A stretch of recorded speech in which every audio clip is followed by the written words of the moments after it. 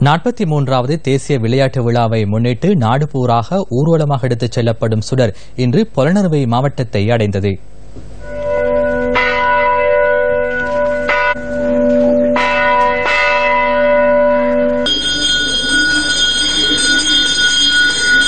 சுடரேந்திய குழு திருகோணமலை கோணேஸ்வரர் ஆலயத்தில் இன்று காலை விசேட பூஜை வழிபாடுகளில் ஈடுபட்டது. அதனைத் தொடர்ந்து திருகோணமலை மாவட்ட செயலகத்தில் சுடரேற்றும் வைபவம் நடத்தப்பட்டது.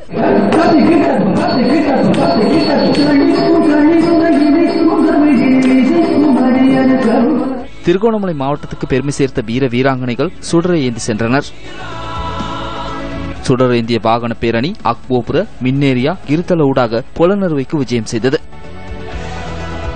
நாளை எமது பயணம் மீன்பாடும் தேனானாம் மட்டக்களப்பு நோக்கி பயணிக்க தயாராக இருக்கின்றோம். எனவே அங்கே இருக்கின்ற எமது உறவுகள் ஒன்று கூடலாம். தேசிய விளையாட்டு விழாவில் ஆற்றல்களை வெளிப்படுத்த தயாராக இருக்கின்ற வீரர்களை நீங்களும் வாழ்த்தலாம்.